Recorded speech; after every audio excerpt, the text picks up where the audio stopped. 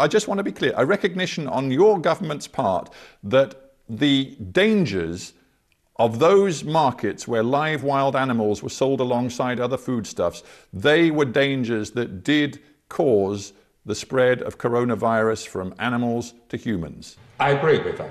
Finally, we have a few points to agree with. I'm very pleased with that.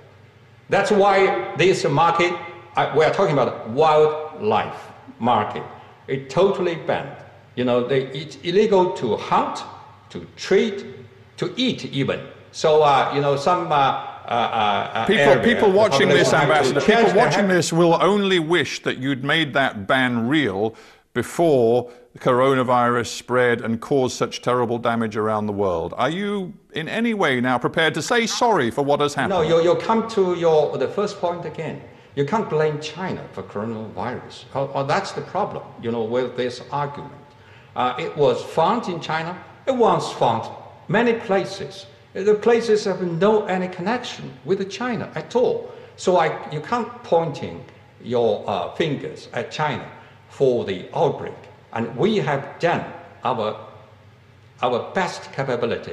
China is a victim of the coronavirus. You know, Ambassador. China is yeah. not a source of this problem. China is not the producer of this in, uh, epidemic. And that is something we have to come clean about. China, you know, Ambassador, is seen, uh, for example, by leading politicians in this country, like the chairman of the Parliamentary Foreign Affairs Select Committee as very much the cause. He's talked about a Soviet style system, a toxic system inside your government, inside your regime, which he says has been responsible not just for betraying the Chinese people and their health and well being, but betraying the wider world as well. And there are now calls for the United Kingdom and also calls in the United States and other countries for a disengagement from close economic ties with China. In Britain, it's uh, of course centered on Huawei and your telecoms giants' activities in the 5G sector. People saying that should no longer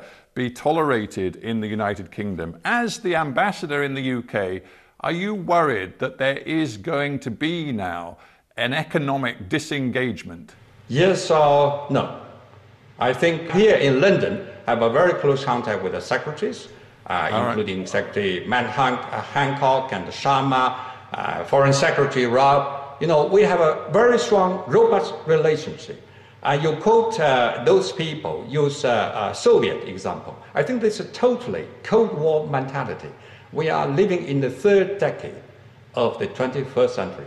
But those people still live in the old days when they are fighting Cold War. China is not a former Soviet Union. I think China, UK right. has, uh, you know, um, uh, many, we, we, we are united by common interests than divided by our differences. So I'm very confident about this relationship. All right. Well, Ambassador, we have to end there, but I do thank you very much indeed for joining me on Hard Talk at this difficult time. Liu Xiaoming, thank you very much indeed.